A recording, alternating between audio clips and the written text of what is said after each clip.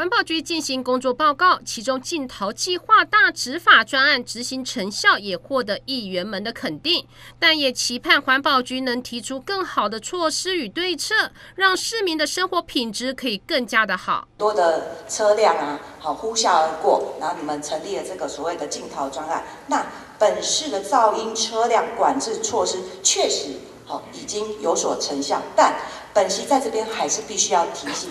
就算是通过认证的排气管，仍有可能透过钻洞、改换消音器、改换阀门等方式改变它的声浪。所以，无论是否是改装车，一切都要依照执法当下的音量超过标准为基准。我们敬老专案从去年的呃成效到今年三月六一号到三月三十一，那成效非常好。副副副市长。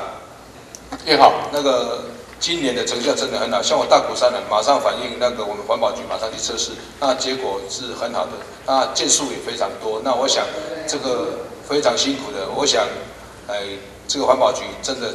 同仁真的很辛苦，再谢谢我们。桃园的西荣焚化厂炉体使用将近了二十二年，炉体老旧，也频传故障。去年十月开始整修，预计到今年七月，这期间将停炉不使用，预估将影响桃园中立区垃圾收运的时间。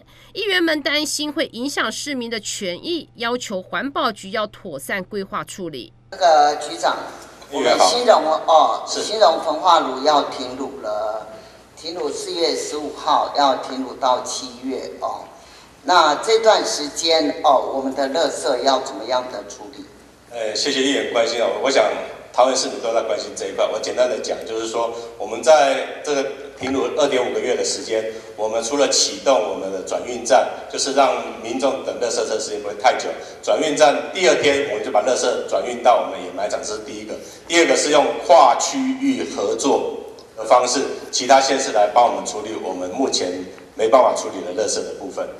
那第一个就是要减来减少垃圾暂置时间嘛，哦，因为呃放太久了，难免会有一些臭味等等。那第二个就是说，在防止异味的臭恶臭飘散，因为在翻脚转运的过程当中，可能会产生更多的异味。那第三个就是要朝向县市互惠的方式来去做这个垃圾去去化。那我想要请问局长，这个现在你们有来去做这个？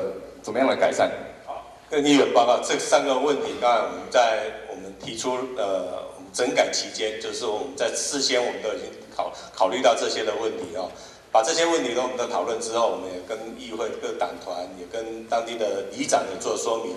第一个，我先讲这个热色暂置的时间，我们要求是说，马上简短好不好？好，晚上送到去送到转运站，第二天就马上去送到我们。今天的早上几点要把它送走？我们要求大概有两个哈，因为有白天也有晚班哈。如果晚班送去的话，大概十点之前就会离开。